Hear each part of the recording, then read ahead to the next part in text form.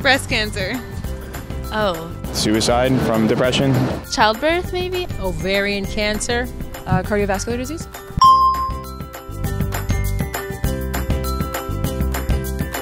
They don't.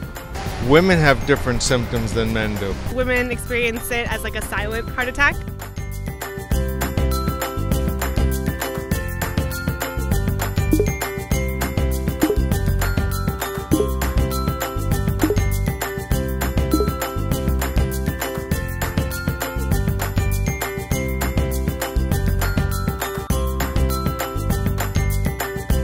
I would like to go straight to the hospital. call a helicopter, forget uh, the ambulance. straight to the hospital.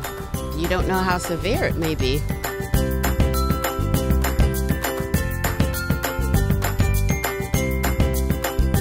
Whoa.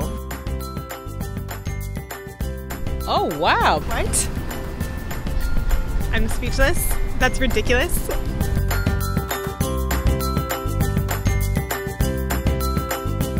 Believe men.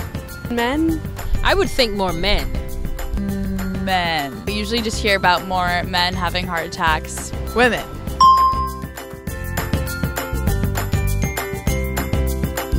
Seventy-five percent. 60%? I hope all of them. Maybe 20%.